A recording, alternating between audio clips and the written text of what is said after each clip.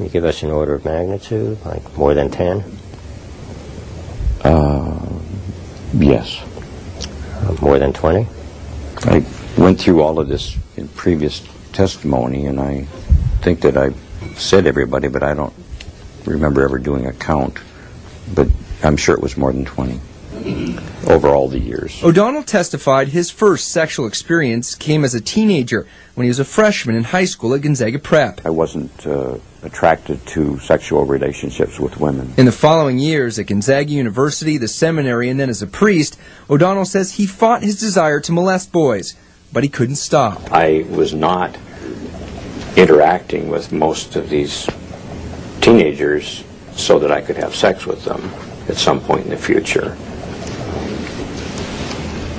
What were you doing? Trying to be a good leader and a good person most of the time, and then I would kind of fall. Okay.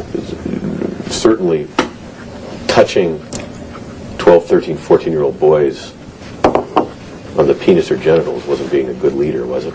No. O'Donnell used his position as a priest to surround himself with teenage boys. He admits molesting boys on camping and boating trips, and he would even bring boys into his bedroom at the church rectory.